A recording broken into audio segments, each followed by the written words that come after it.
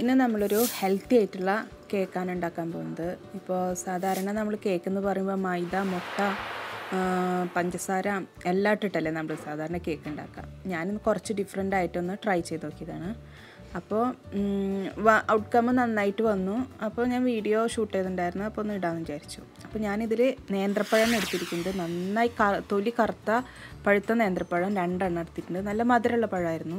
അപ്പോൾ ഞാനിത് ഫോർക്ക് കൊണ്ട് ഉടയ്ക്കാൻ നോക്കിയപ്പോൾ അതിന്റെ നടുവിൽ കുറച്ച് കട്ടി ഉണ്ടാവുമല്ലോ അപ്പോൾ പിന്നെ ഞാനത് ചെറിയ പീസായിട്ട് ഒരു മിക്സിയുടെ ജാറിലേക്ക് ഇട്ടു. എന്നിട്ട് അതൊന്ന് ക്രഷ് ചെയ്തെടുത്തു. അതെന്ന് വെച്ചിട്ട് വല്ലാണ്ട് വെള്ളമൊന്നും ഒഴിക്കണില്ല വെറുതെ ഒന്ന് ക്രഷ് ചെയ്യുക കുറച്ച് പീസസ് അതിൽ ഉണ്ടായാലും കുഴപ്പമൊന്നുമില്ല. അത് നമ്മൾ കേക്കിൽ കടിക്കുമ്പോൾ കുറച്ച് ടേസ്റ്റ് കിട്ടും. അപ്പോൾ ഇത് റോബസ്റ്റ് പഴം വെച്ചെങ്കിൽ നമ്മൾ ഫോർക്ക് കൊണ്ട് തന്നെ ഉണ്ടാക്കിയാൽ മതിയാവും. ഇത് ഞാൻ നേന്ത്രപ്പഴം എടുത്തിരിക്കുന്നത്. അപ്പോൾ നമ്മളിത് മിക്സിയിൽ അടിച്ച് കിട്ടി. ഇപ്പോൾ എല്ലാ പീസസും അടി അരഞ്ഞിട്ടില്ല കേട്ടോ. കുറച്ചൊക്കെ കട്ടിയായിട്ട് കിടക്കുന്നുണ്ടാവും. അത് കുഴപ്പമില്ല.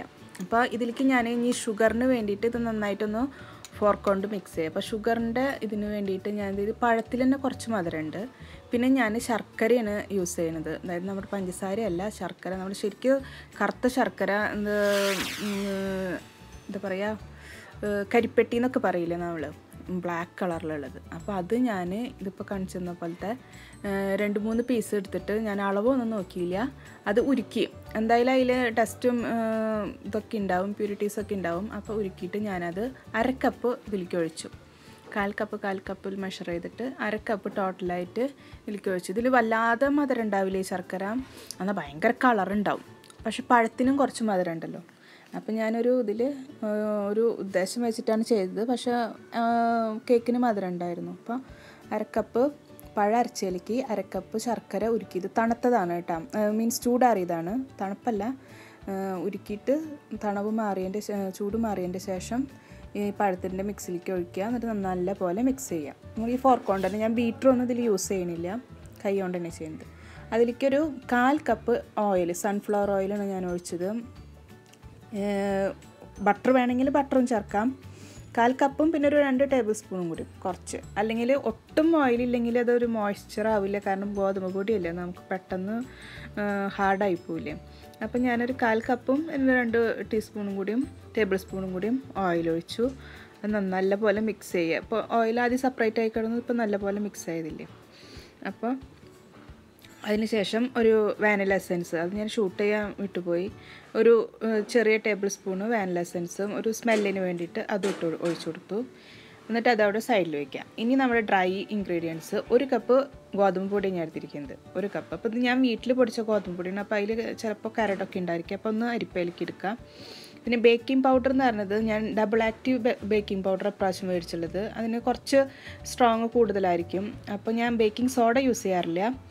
അപ്പോൾ ഈ ബേക്കിംഗ് പൗഡർ രണ്ട് ടേബിൾ സ്പൂണ് ഞാൻ ഇട്ടു ടേബിൾ സ്പൂൺ രണ്ട് ആ ടേബിൾ സ്പൂൺ തന്നെ. രണ്ടെണ്ണം ഇട്ടു. സാധാരണ കേക്കിലൊക്കെ ഒരെണ്ണം ഇടാനുള്ളൂ ഞാനത് ഇരട്ടിയായിട്ട് ഇട്ടു. കാരണം നമ്മളിതിൽ മുട്ട ഇടയണില്ല മൈദയില്ല പൊൻ കേക്ക് പൊന്താനൊരു ഹെൽപ്പിന് വേണ്ടിയിട്ടാണ് ഞാൻ രണ്ടെണ്ണം ഇട്ടത്. അത് നന്നായി മിക്സ് ചെയ്യുക. കുറച്ചൊരു നുള്ളു ഉപ്പും കൂടി ഇടുക കേട്ടോ. എന്നിട്ട് മിക്സ് ചെയ്തിട്ട് നമ്മൾ നന്നായി മിക്സ് ചെയ്തതിന് ശേഷം കുറേശ്ശെ കുറേശ്ശെ ആയിട്ട് നമ്മുടെ പഴത്തിന്റെ ബാറ്ററിലേക്ക് ഇട്ട് കൊടുക്കാം പഴം ശർക്കര ബാറ്റർ ഉണ്ടാവില്ലേ? അതിലേക്ക് കുറേശ്ശെ കുറേശ്ശെയായിട്ട് ചെയ്യുക. പിന്നെ സ്പാച്ചിൽ ഉപയോഗിച്ചിട്ട് കട്ടൻ ഫോൾഡ് രീതിയിൽ ചെയ്താലും മതി. ഞാൻ ഒട്ടും ബീറ്റർ യൂസ് ചെയ്തിട്ടില്ല. ഹാൻഡ് ഹാൻഡ് ബ്ലെൻഡറും ബീറ്ററും ഒന്നും യൂസ് ചെയ്തിട്ടില്ല. നമ്മൾ സ്പാച്ചിൽ കൊണ്ട് തന്നെയാണ് ഞാൻ ചെയ്യുന്നത്. അപ്പോൾ ഈ ഗോതമ്പ് പൊടി പെട്ടെന്ന് നമ്മുടെ വെള്ള വാട്ടർ കൺസിസ്റ്റൻസി ഉണ്ടെങ്കിൽ അത് വേഗം വലിച്ചെടുക്കും. അപ്പോൾ നമ്മൾ കുറച്ച് പാലും കൂടി ഞാൻ സെപ്പറേറ്റ് റെഡിയാക്കി വെച്ചിട്ടുണ്ടായിരുന്നു. പാൽ റൂം ടെമ്പറേച്ചറിലുള്ള പാൽ. അതായത് നമ്മൾ മിക്സ് ചെയ്ത് മിക്സ് ചെയ്ത് വരുമ്പോൾ ഭയങ്കര ഹാർഡാവും ചിലപ്പോൾ ബാറ്റർ അപ്പോൾ ഒരു നമ്മുടെ ആവശ്യാനുസരണം. അപ്പോൾ ഇത് ഫുള്ളി ഫുള്ളി മിക്സ് ആവാൻ വേണ്ടിയിട്ട് എത്ര പാൽ വേണം? അത്ര ആഡ് ചെയ്താൽ മതി കേട്ടോ അല്ലാണ്ട് കുറേ പാലൊന്നും ഒഴിക്കണില്ല. അപ്പോൾ രണ്ടോ മൂന്നോ ടേബിൾ സ്പൂണ് പാൽ ഞാൻ ഒഴിച്ചിട്ടുണ്ടായിരുന്നു എന്നിട്ട് വല്ലാണ്ട് ഫ്ലോയി കൺസിസ്റ്റൻസിയിലാക്കിയില്ല ഞാൻ കുറച്ച് കട്ടിയിൽ തന്നെ എടുത്തു ബാറ്റർ അപ്പോഴേക്കും നമ്മുടെ കേക്ക് ഓവന് ഇതാക്കാൻ വെച്ചിട്ടുണ്ടായിരുന്നു. പ്രീ ഹീറ്റ് ചെയ്യാൻ വൺ എയ്റ്റിയിൽ ടെൻ മിനിറ്റ്സ് പ്രീ ഹീറ്റ് ചെയ്യാൻ വെച്ചു. പിന്നെ നമ്മുടെ ബേക്കിംഗ് ടിന്നും ഞാൻ ലൈൻ ചെയ്ത് വെച്ചിട്ടുണ്ടായിരുന്നു. ഇത് ചെറിയ കേക്കാണ് ഉണ്ടാക്കുന്നത് കേട്ടോ അപ്പോൾ ഇത് നന്നായിട്ട് മിക്സ് ആയതിന്റെ ശേഷം ടിന്നിലേക്ക് ചെയ്യുക ടാപ്പ് ചെയ്യുക അങ്ങനെയൊന്നും ഞാൻ ചെയ്തില്ല. ജസ്റ്റ് ഒന്ന് ഒഴിച്ചു. കണ്ട ഇതിന്റെ കൺസിസ്റ്റൻസിയും കളറും ഒക്കെ കുറച്ച് ഡിഫറെന്റ് ആണ്. ഇതിലേക്ക് വേണമെങ്കിൽ നിങ്ങൾക്ക് ഡ്രൈ ഫ്രൂട്ടും വേണമെങ്കിൽ ചേർക്കാം കേട്ടോ. നമ്മുടെ മറ്റേതില്ലേ എന്താ പറയുക ബദാം പിസ്ത അത് വേണമെങ്കിൽ ഇടാം. ഹേസൽനട്ട് അതൊക്കെ ഇടാം വേണമെങ്കിൽ.